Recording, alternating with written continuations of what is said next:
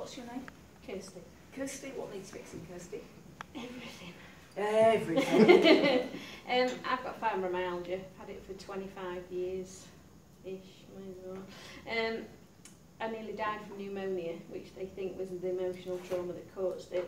right. But I work with people every day, and kind. I'm a medium, working medium, so I'm like that lady that I just don't look after myself. We never do as therapists and So let's it. change that then. Yes, let's do it. Yes, let's change that. Okay, so what's it going to take for you to look after yourself? Could be a big slap in the face.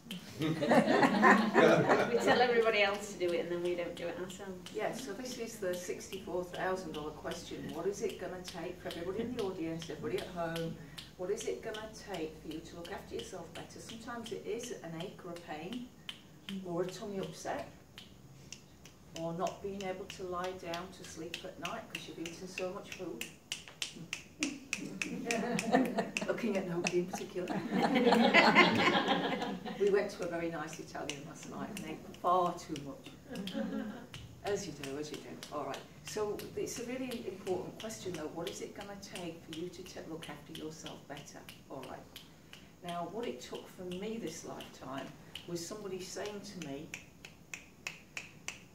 "You help an awful lot of people," which I do. Mm-hmm. It would be an awful shame if your life was cut short because you didn't look after yourself. When you've acquired this level of spiritual consciousness that you have this lifetime, it really matters that you stay in your body so you can help more people. Yeah? So you're doing it not for you, you're doing it for others. And even more importantly, have you got kids? No, All right, are there any kids around you, nieces, nephews, no. that would learn from your example? Okay, for those of you that have got kids, nieces, nephews, your legacy to your kids, you can say eat healthily, but if they don't see you doing it, guess what they're going to do? Mm. You know, it's like the parent that says don't smoke, but they're puffing away. Guess what the kids do? They smoke too. Mm. Yeah, so you've got to find what is it for you? What is it going to take for you to look after yourself better? Yeah, cool. Now,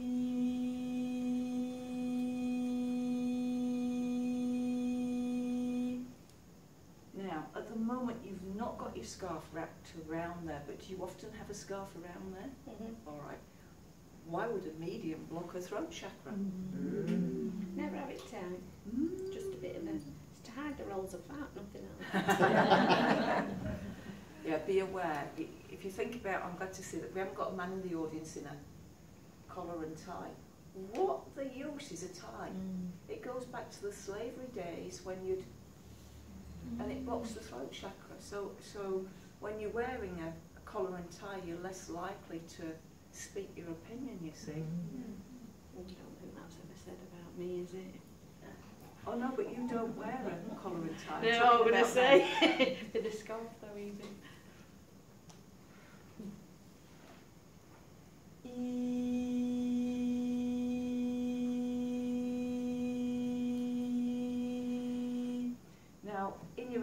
space, the word that I'm getting is judgment. Okay. Now, look at that word judgment. Mm-hmm. And uh, very often, when we're judging something, we're in our heads. Whether we're judging it's good or bad, right or wrong, we're in our heads. Instead of judgment, bring your awareness down into your heart center and instead discern what is best for you. All right. Now, this is the thing. If you want to improve the quality of your life, if you want to improve the quality of your health, do it in small incremental steps that are easy. Yeah? Mm-hmm. All right. So this is step number one. When you wake up in the morning, before you get out of bed, I want you to just, it's a suggestion, I want you to lay in bed for five minutes, put your hands on your heart center, breathe through your heart center for five minutes before getting out of bed so that you get out into the world in a really good loving space. You can all do that, can't you? Mm-hmm. Yeah?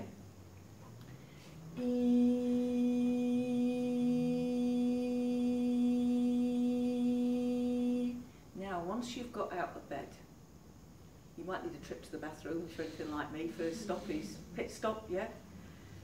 Don't, first thing in the morning, look at text messages or emails because they have the power to destroy your day, don't they?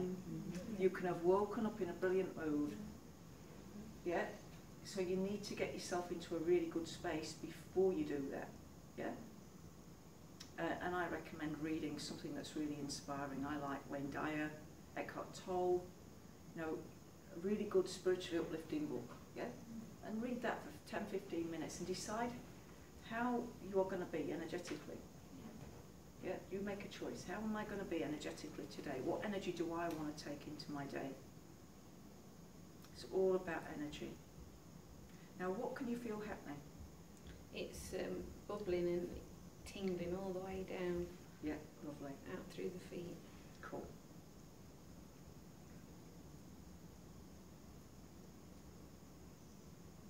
So we have free will choice. There's a lot of stuff that will happen to you this lifetime that you have no say over.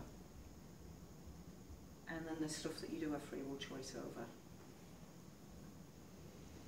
Nice. And you can choose to be healthier.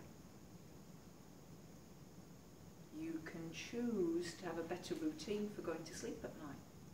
We all need a good night's sleep, eh? Yeah, at Grandma's Day, what did they used to have? Warm milk. Yeah, that was that was the remedy. Warm milk. Yeah. They didn't have lots of TV. They might listen to the radio. If how many of you have fallen asleep in front of the TV? Raise your hands. How many of you have fallen asleep in front of the fire? Raise your hands. How many of you have fallen asleep in front of a computer? Doesn't happen, does it? So when you're on a computer late at night, you wake yourself up and it's a white or blue light coming off the screen. Yeah? And even these lights in here, these are white light. You want yellow lights. If you want to have a good night's sleep in your bedroom, you want the yellow lights, the old incandescent lights, yeah? Because the white and blue destroy melatonin. You need melatonin to sleep. Now, come the winter in England, you probably need some white and blue lights because you're not seeing enough sunlight. But in the summer, just incandescent lights will be fine. Now what's happening? I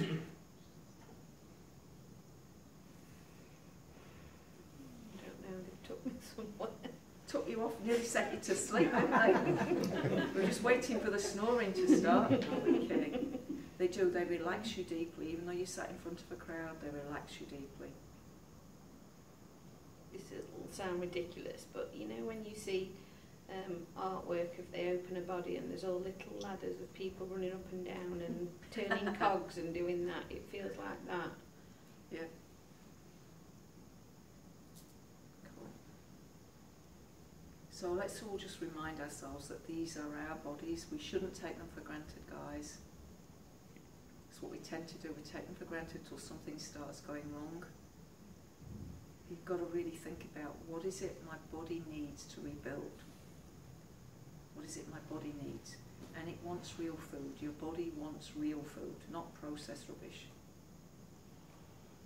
And I try and eat the foods that are right for the work I'm going to do. So if I'm going out for a long walk, I might eat some carbohydrates. If I'm doing a meditation, I might eat a salad. Yeah, eat. Think about what energy do I need.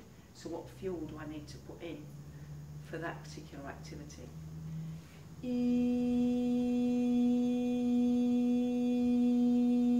And it feels like you love nature. Hmm. You love nature, but are you spending enough time in nature? No. No, okay, so go with what you love. Go with getting out into nature. 30 minutes a day, get yourself out into nature. And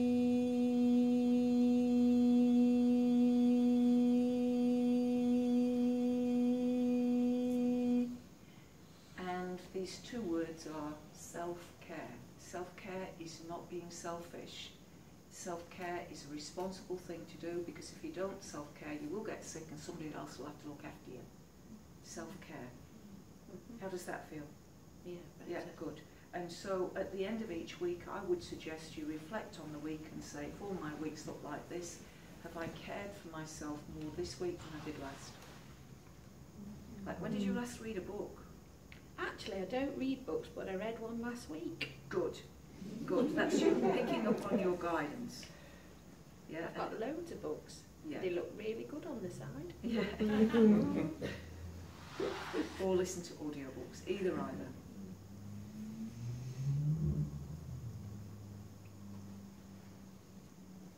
These are our bodies. We Shouldn't take them for granted. We need to appreciate them. And so just, everybody just ask yourself this question. I don't want any answers, it's just for you personally. But what could I do to value this body more? What could I do? Some of you it might need, they need relaxing. Some of you might need exercise. Um, what could I do? You might need a massage. What could I do to look after this body better? And just let your own wisdom arise to the surface within you about what could I do tomorrow or tonight to look after this body better. It might be go to sleep when you're tired. It might be do some gentle stretching when you first get up.